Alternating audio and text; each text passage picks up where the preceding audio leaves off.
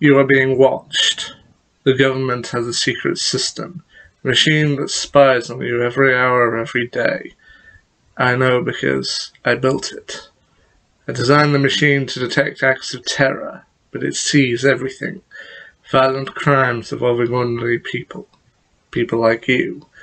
Crimes the government considered irrelevant. They wouldn't act, so I decided I would. But I needed a partner. Someone with the skills to intervene. Hunted by the authorities, we work in secret. You'll never find us. But victim or perpetrator, if your number's up, we'll find you.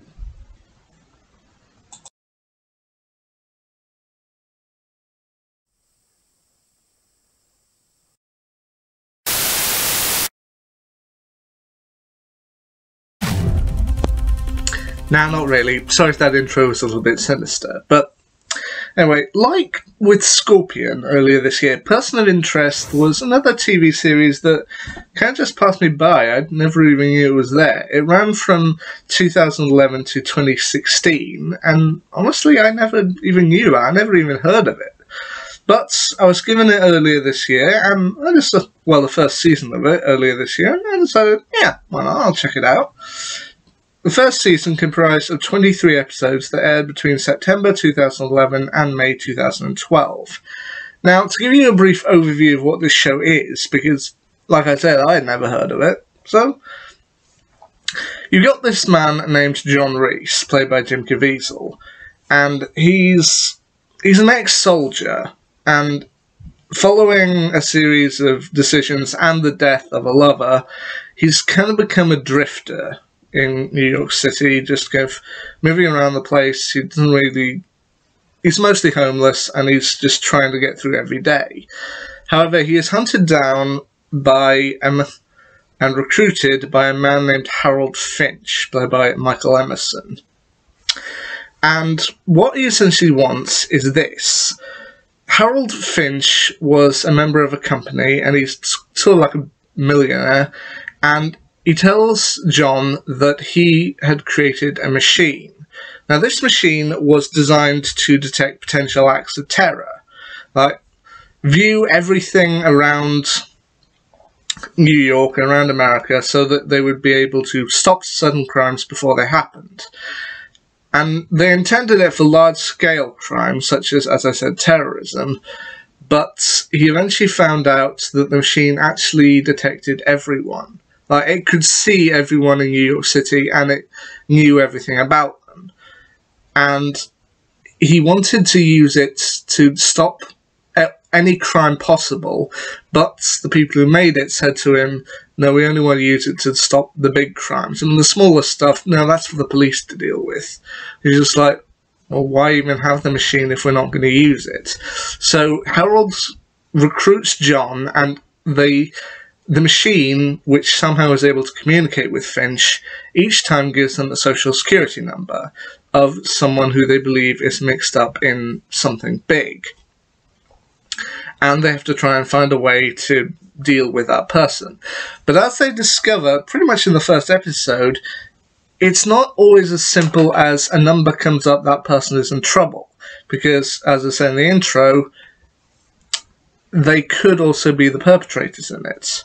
I, in the first episode, essentially, they uh, advise to look at an official, and while it's at first assumed that she's got herself mixed up in some kind of drug cartel and is in possible danger, they eventually discover that she is actually spearheading the operation, and it becomes a little bit more complicated, and suddenly the show becomes not black or white, but speckled with shades of grey. And honestly, it works very well. They're assisted uh, partially by two members of the police department.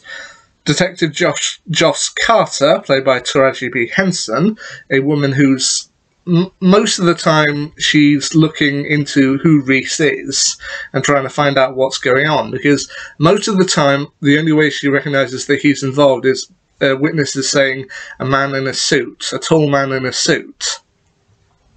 So most of the time she's trying to hunt him down, trying to find out who he is. And the other member who they, the other member of the police department who they end up getting a with is Detective Lionel Fusco, played by Kevin Chapman, who's I believe the setup for him is he's kind of a dirty cop. He's done some things he's not proud of, but Reese gives him a chance to kind of make himself better, exonerate himself, and do the right thing, which sometimes does involve getting involved in their investigations. And there's also a ton of supporting characters who make the first season of the show pretty good, including a man named Carl Elias, played by Enrico Colantoni, who, while it seems at first he's just like an ordinary science teacher, it's eventually revealed that he is kind of a big shot in the gangster world. And he wants to take down a series of other gangsters, including his father, there's a woman named Alicia Corwin, played by Elizabeth Marvel, who is uh, a woman who knows about Finch's machine and believes it to be dangerous, and a woman who they consistently encounter named Zoe Morgan, played by Paige Turco, who's kind of like a, a woman of all trades. Like she's got her fingers in several pies, and they she eventually comes in to help them.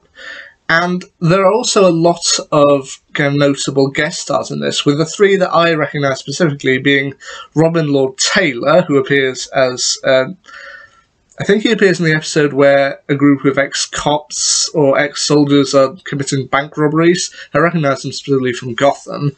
Uh, Enver Gjokaj appears in an episode, I remembered him from Dollhouse. And Mark Margolis, who I remember from Breaking Bad, who is Carl Elias's father who, yeah, I, I honestly think this is a great show. The, the episodes are kind of hard to explain, and each one of them does go pretty dark, but I think my if I had to pick up a favourite from season one, I'd possibly say episode 18, Identity Crisis, where uh, John and Harold end up getting a new number which seems to correspond to two different people. One is just a you know, simple guy working as a barback, and the other is a woman who works in antiques. Like they both have the same name, which seems to be gender neutral, but they can't seem to work out who it is. And we did come up with several theories, but then ultimately, spoiler alert, it's revealed that one of them is uh, kind of a crime lord in herself. Like the woman is revealed is a she's running a business selling ecstasy while the other is trying to infiltrate her organization in order to get his name back. And it does become quite complicated. But it provided me with a great time.